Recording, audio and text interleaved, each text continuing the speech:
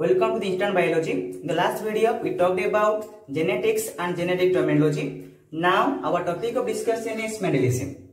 So, to understand Mendelism, please follow the last video. I have given link in the descriptions.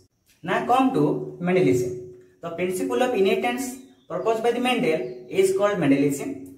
An Austrian priest, Gregor John Mendel, conducted a historical experiment on garden pea Pisum sativum in the Augustine monastery garden from 1856 to 1864 for about 9 years. By analyzing his result, he published a paper titled Experiment in Plant Hybridization in a journal named The Annual Proceeding of Natural History Society of Brunn in the year of 1866.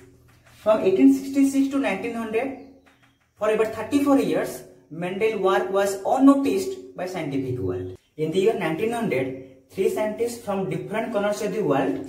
Hugo de Vries from Holland worked on Oenethida. Carl Korenz from Germany worked on GMH. And Erich von Tessmatt from Austria worked on powering plant, rediscovered Mendel's works. In the many book, it has written that Mendel postulated the laws of inheritance. Actually, Mendel did not give any law. It was Carl Korenz who thought that Mendel discovery could be presented by the phenomenon of dominance and recessiveness, law of segregation and law of independent assortment. So, the law of segregation is the first law of Mendel.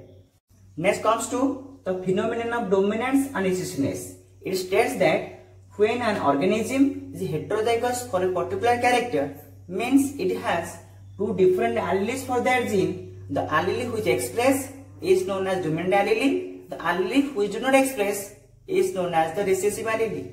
This can be explained with monohybrid cross. As you know, the genetic cross which involves inheritance of a single pair of contrasting characters is known as the monohybrid cross. Let the character height. The character height having two contrasting form, tall and dwarf. In the pea plant, capital T is the allele which controls the tallness and small t is the allele which controls the dwarfness. Mendel in his monohybrid cross cross two p plants. One is homozygous tall having genotype capital T capital T and another is homozygous dwarf having genotype small t small t. Here tall and a dwarf forms the parental generation.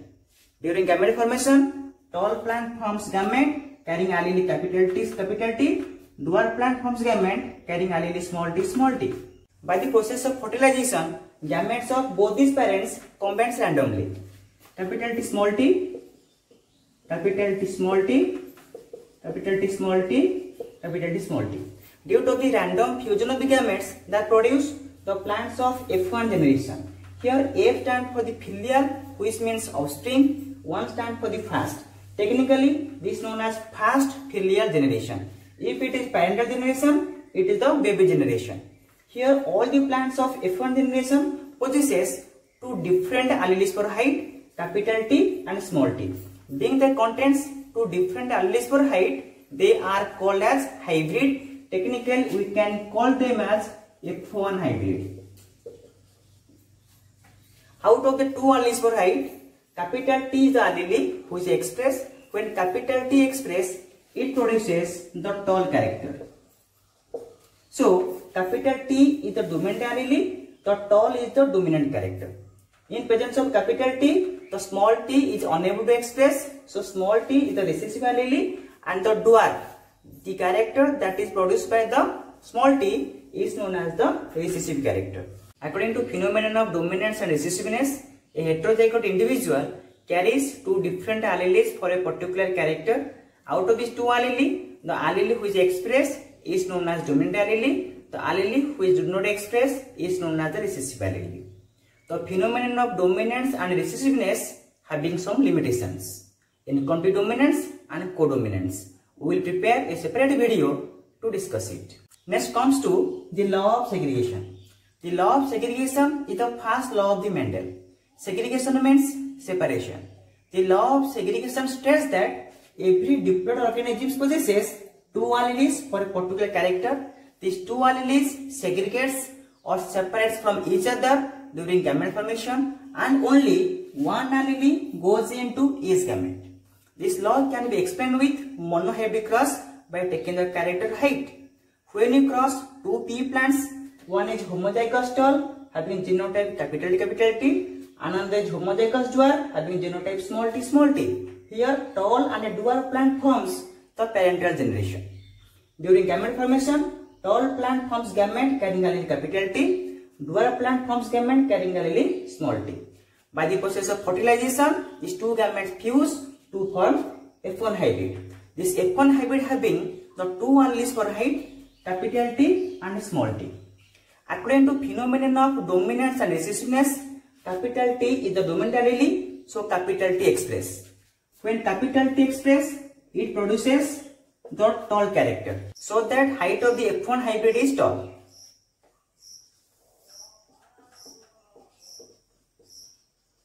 In this F1 hybrid, the allele capital T, allele small t remain present together throughout the lifetime without being contaminating or mixing with each other. But capital T that is the dominant allele that influence small t and small t is influenced by the capital T. Being the capital T the dominant allele which does not allow small t to express. So small t remain suppressed in this F1 hybrid. At maturity, this F1 plant develops flower. When gamete formation occurs in this flower, the dominant allele capital T and recessive allele small t, they separate from each other and one enter into each gamete. So, the law of segregation was postulated to explain this allelic separation during the gametogenesis or during the gamete formation. This plant is heterozygous or this plant is the genetically impure. But each gamete is a genetically pure because they contain only one allele per height. Being the gametes are pure, the law of segregation also known as law of purity of the gametes. Mendel allowed selfing of F1 hybrids or selfing F1 hybrid forms two types of gametes capital T and small t. These gametes of F1 hybrids combine randomly capital T, capital T, capital T, small t capital T small t and small t small t. Due to the random combination of the F1 gametes that produces plants of F2 generation. Out of four plants of F2 generation, first plant is homozygous stub, second plant is heterozygous stub, is a heterozygous stub, is a homozygous dwarf. Out of the four plants, the three plants are tall, one plant is dwarf. So the phenotypic ratio is 3 is to 1, that the three plant tall, one plant is dwarf. Out of the four plants, one plant having genotype, capital T capital T. So two plants having genotype capital T small t and one plant having genotype the small t small t. So the genotype ratio is 1 is to 2 is to 1. Appearance of homozygous dual plant in F2 generation helps Mendel to conclude that the F1 tall plants never be homozygous tall. Instead, they should be heterozygous tall containing different alleles for the height Capital T is the dominant allele, small t is the recessive allele. During gamete formation, capital T the dominant allele, small t the recessive allele, they separate from one another and during the process of fertilization, they combine at random. Due to the random gametic union, that cause formation of the recessive dwarf during the ectogeneration. generation. So, this is the basis of the law of segregation. Next law is law of independent assortment. Law of independent assortment is the second law of the Mendel. It states that alleles of one gene assort out into gametes independently alleles of another gene. Or a simple concept, alleles of one gene do not depend upon alleles of another gene to assort out into gametes or transfer from one generation to next generation. In a common language, we can define the law of independent assortment is that genes for one character do not depends upon genes for another character to transfer from one generation to next generation. We can explain the law of independent assortment by the help of Mendel's cross. In dihybrid cross, Mendel considered two characters of the PCA, color and shape. The color having two contrasting form, yellow and green.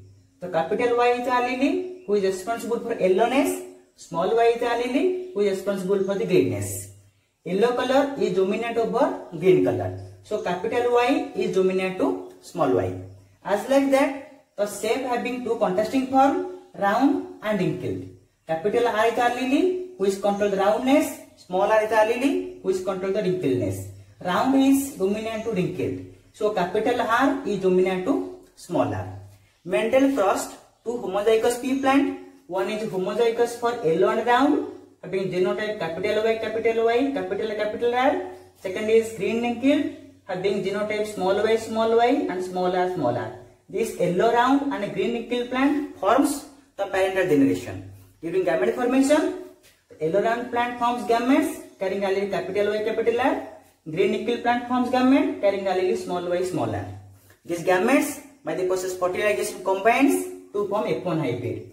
This F, in this F1 hybrid, according to phenomenon of dominance and decisiveness capital y express when capital y express it produce the yellowness when capital r express it produce the roundness so phenotype of f1 hybrid is yellow and round so mendel allowed cell pollination of this f1 hybrid during cell pollination this f1 hybrid forms four types of gametes capital y capital r capital y small r small y capital r and small y small r Then before discuss about this, so first we will understand the rules of the gamete formation.